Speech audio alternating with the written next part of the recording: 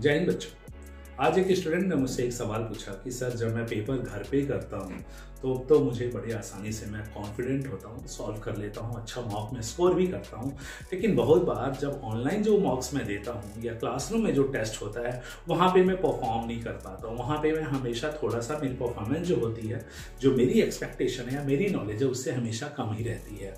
तो जी हाँ ये ऐसा होता है, ऐसा नॉर्मली प्रॉब्लम तब आता है जब आप हमेशा बाकी जो स्टूडेंट्स हैं, आप ये मान के चलते कि उनको आपसे ज़्यादा आता है। तो जहाँ आपने एक ओपोनेंट को अपने से बड़ा मान लिया, क्योंकि जो भी पेपर एग्जामिनेशन हॉल में जो भी स्टूडेंट बैठे हुए ऑब्वियस वो सारे के सारे आपके कॉम्पिटिटर हैं।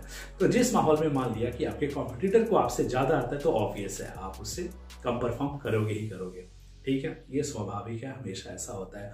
करना क्या चीज़ है कि चाहे आप क्लासरूम में दो, चाहे कुछ भी दो, देखिए, आप जो हो, आप आपके अंदर में लीडरशिप स्किल आनी चाहिए। आप भीड़ का हिस्सा नहीं बनिए। ठीक है? कहने का मतलब जब भी है कोई भी ग्रुप है, आप परफॉर्म कीजिए, ऐसे सोचिए कि यू आर द बेस्ट और उसके अकॉर्डिंग आपकी बॉडी लैंग्वेज हो, उसके अकॉर्डिंग आपकी परफॉर्मेंस हो।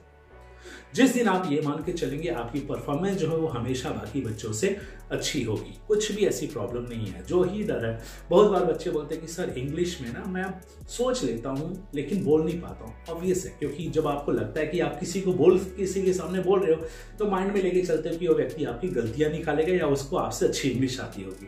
तो ये चीज़ें हमेशा मैटर करती है। हमेशा ये मान के चलो कि सामने वाला व्यक्ति है आप जो भी चीज़ बोल रहे हो, वो आपसे अच्छा कोई नहीं बोल सकता। जो इस नॉलेज को आप डिलीवर कर रहे हो, आपसे बढ़िया नहीं कर सकता।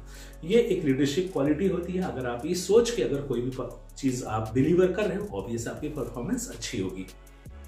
और रही बात हाँ ग्रुप में टेस्ट देने के लिए तो उसके लिए कॉन्फिडेंस डेवलप करने के लिए है हमारा app Unacademy Unacademy app आज ही डाउनलोड कीजिए educator code Anees dot Pathak और अन अकेडमी पे जितने भी अब फ्री क्लासेस चल रही है मॉक टेस्ट चल रही है, ठीक है, उन सारे भी चीज़ों में पार्टिसिपेट कीजिए और आपका जो तैयारी है एनडीए 2022 की, उसको एक नया मोड़ दीजिए। मैं उम्मीद करता हूँ इस बार एनडीए में आपका सिलेक्शन ज़रूर होगा। जय हिंद।